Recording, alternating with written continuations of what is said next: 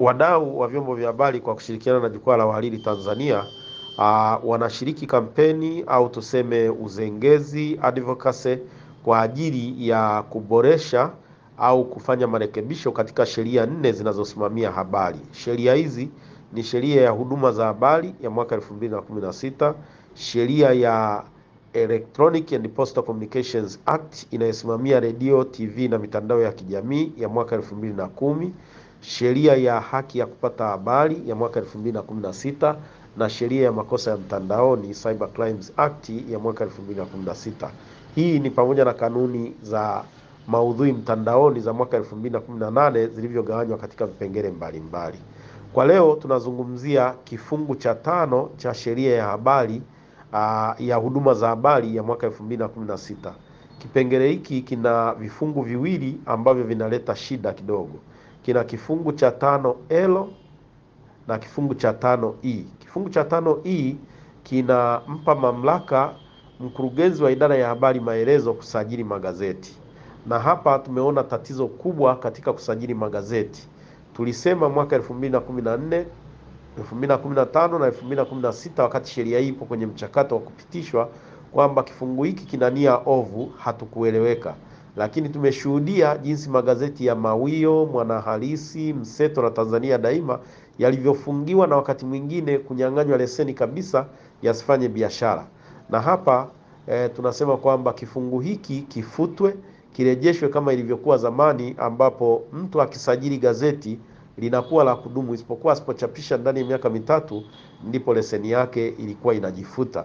Sasa kwa kufanya hivi, unapofuta leseni au ukasitisha, e, unakuta unaathiri e, mawasiliano kati ya wasomaji na chombo cha habari kilichofungiwa. Lakini sio hiyo tu, kuna wafanyakazi wengi ambao wanafanya kazi kwenye kwenye magazeti, kwenye redio, kwenye TV. Leseni inapokuwa imeondolewa inaleta shida ya kwamba wale watu wanataabika na kuishi maisha ya dhiki sana, lakini pia kuna kuwepo mikataba mbalimbali mbali, mikataba ya matangazo, mikataba ya huduma kwa jamii. Gazeti linaponyang'anywa leseni au ikafutwa ika, ika kwa utaratibu huu wa kusajiliwa linakuwa lina shida. Tutazungumzia tena kifungu cha tisa na kifungu cha kumi ambavyo vinampa mamlaka mkurugenzi wa idara ya habari maelezo kutoa au kusitisha. Hiki kifungu cha tano kinazungumzia kusajili na tunasema kifutwe. kadi siku zinavyosonga, tutazungumzia kifungu cha tisa na cha kumi ambacho tunasema kwamba navyo vifutwe, kuondoa haya mamlaka ya mtu mmoja. Yana maelezo mapana kidogo, lakini kifungu cha tano elo pia nacho tunasema kwamba kifutwe, kwa maana ya kwamba kinaweka mamlaka au madaraka ya kukusanya, kuchakata na kusambaza kwa vyombo vya habari matangazo yote ya serikali na taasisi zake kwa mtu mmoja ambaye ni mkurugenzi wa idara ya habari maelezo.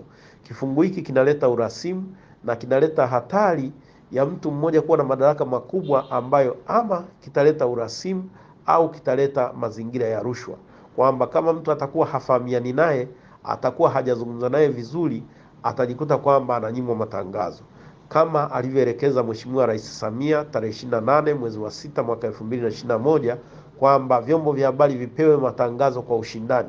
Tunapenda sana vyombo vya habari vipewe matangazo kwa njia ya ushindani na sio kwa njia ya upendeleo au kwa njia ambazo zinaleta mashaka.